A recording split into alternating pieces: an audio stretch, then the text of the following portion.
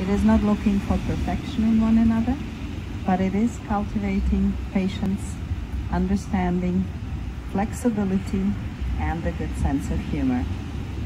It is having the capacity to forgive and forget. It is not only marrying the right person, but it is being the right partner.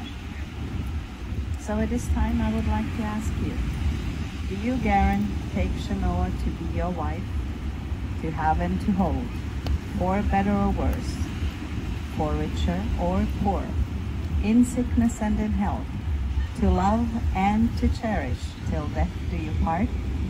I do. And you, Shanoa, take guarantee to your husband, to have and to hold, for better or worse, for richer or poorer, in sickness and in health, to love and to cherish, till death do you part? I do. Garen and Shanoa, may you pledge to each other to be loving friends and partners in marriage, to talk and to listen to one another, to trust